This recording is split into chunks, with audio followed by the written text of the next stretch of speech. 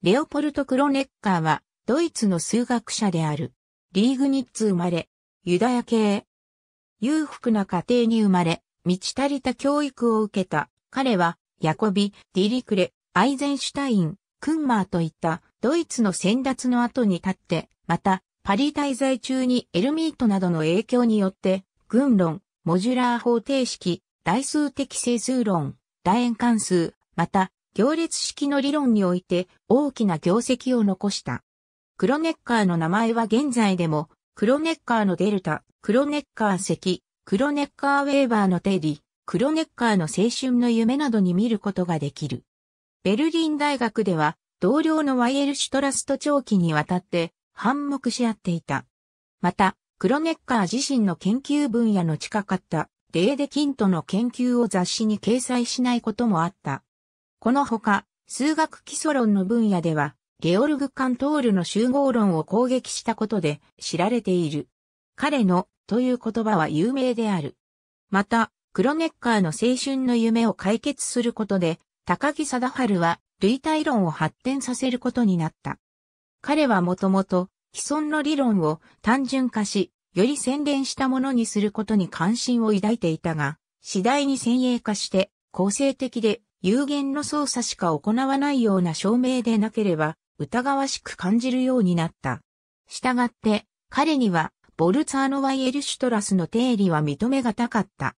さらには整数から有限の演算を施して得られるような数でないものは存在しないものとまでみなすようになる。彼は、リンデマンによる円周率の超越性の証明を、美しいが、しかし意味のないものだ。なぜなら、超越数は存在しないのだからと評している。カントールは、超越数が無限に存在することを証明したが、彼の立場から言えば、この結果は全く意味のないものだった。彼は、自分の考えを行動に移す人物で、カントールらの論文を自分の雑誌に掲載することを拒否し、カントールやレーデキントラの実数に関する理論、さらにはカントールの人格まで公然と非難した。カントールはこれにひどく傷つき、このことはカントールが後に精神的に不安定になる要因にもなった。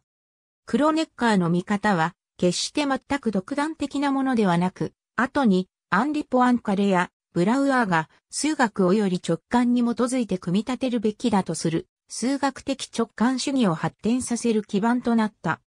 アンドレ・ベイユの研究所では晩年のクロネッカーがアイゼンシュタインの楕円関数論に着想を得て独自の楕円関数論を展開しようとしていたことが指摘されている。経済的には学位取得後に亡くなった叔父の銀行と農場を引き継いで経営に成功し、財政的にも成功させていた。